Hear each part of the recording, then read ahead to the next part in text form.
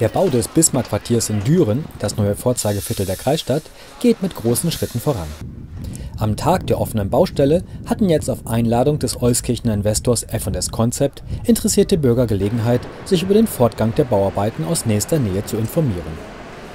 Neben einem Dorint-Hotel entsteht vis-à-vis -vis zum Kreishaus ein Konferenzzentrum und ein Bereich für hochwertiges Wohnen und Arbeiten. Wir, wir fangen jetzt aktiv eigentlich an mit der Vermarktung.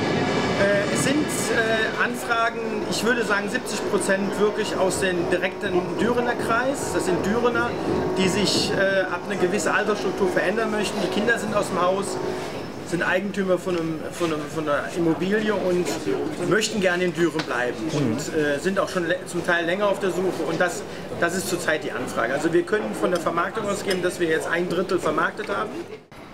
Ein Großteil der gut 250 Arbeiter, die in zwei Schichten das Mammutprojekt vorantreiben, stammt aus dem Umkreis von Düren. Obwohl erst gerade mit der Vermarktung begonnen wurde, gibt es schon zahlreiche Interessenten für Privatwohnungen und Geschäftsräume. Ein Drittel der Eigentumswohnungen ist bereits vermarktet. 70 Prozent der Anfragen stammen dabei aus dem Kreis Düren. Insgesamt sollen 29 Wohnungen und 3000 Quadratmeter Gewerbefläche entstehen, zentral gelegen neben dem ebenfalls noch zu modernisierenden Theodor-Heuss-Park sowie in nächster Nähe zum Stadtzentrum und dem Bahnhof.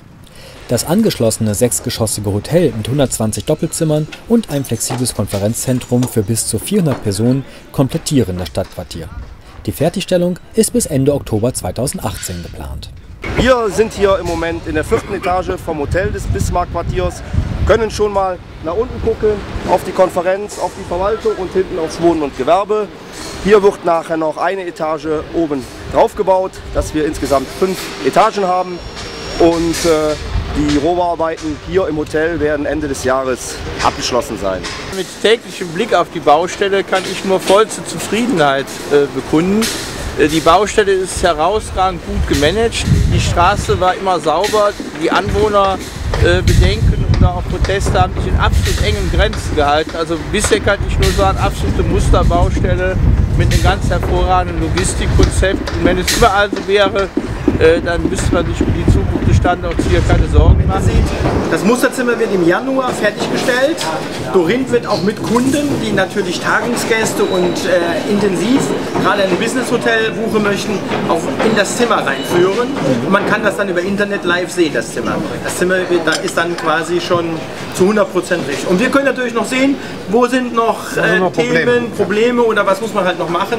Und zudem muss die Steckdose doch vielleicht mehr nach rechts, um das Bett noch zu verschieben zu können und so weiter.